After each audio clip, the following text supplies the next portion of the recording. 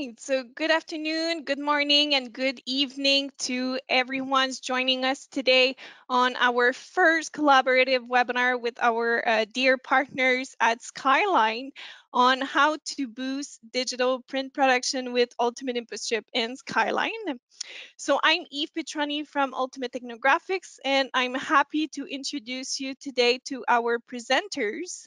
So we have from Ultimate Technographics, Ray Duval, and we have from Skyline, Chris Camp.